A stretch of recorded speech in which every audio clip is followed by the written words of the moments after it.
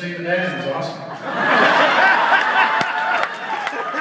you got this dance. Well, the fact that I was the only guy in the band that had a van.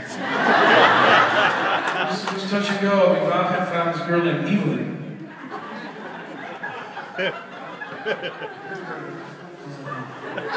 you wrote, then you wrote What Are Ya At, and then we just keep moving to the curb. Yeah. and you lead us to this day. I